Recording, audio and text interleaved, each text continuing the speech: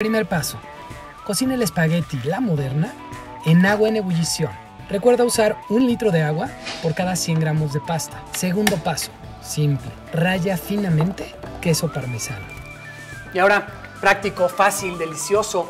eh, atún tuni, por supuesto. Es que es el que sabe rico, es el que a mí me gusta. Eh, es el que me da ácidos grasos omega 3, 6 y 9. Para que sea rico y sano, es con tuna. Un poco de ajo. Y ahora sí, toda la proteína del mar en forma de atún tuni. Ahora, si batallas al picar hierbas aromáticas, usa unas tijeras para cortar perejil y albahaca. Agrega un huevo dentro del tazón y mezcla todos los ingredientes. Facilísimo. Ahora, antes de armar las albóndigas, humedécete las manos, así no se te van a pegar. ¿Viste qué simple? Ahora pon aceite en un sartén y cocina las albóndigas.